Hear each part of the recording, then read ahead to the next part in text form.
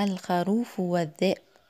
بينما كان الراعي يرعى غنمه في البرية ابتعد خروف عن القطيع فهجم عليه ذئب ليأكله.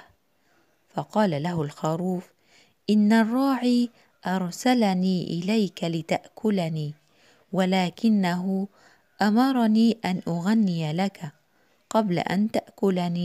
فقال الذئب هل صوتك حسن؟ قال نعم إن صوتي جميل جدا. فقال له الذئب غن وارفع صوتك.